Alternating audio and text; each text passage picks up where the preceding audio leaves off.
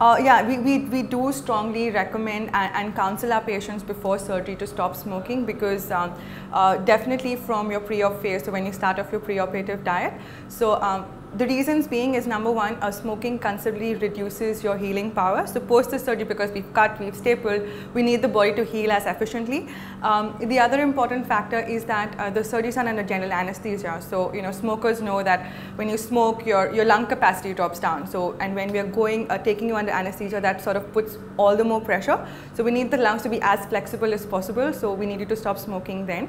Um, post the surgery, if you do continue to smoke, um, there's severe gastritis, a lot of acidity and no matter what medications we, uh, we sort of prescribe, uh, patients do suffer a lot with, with excessive gastritis.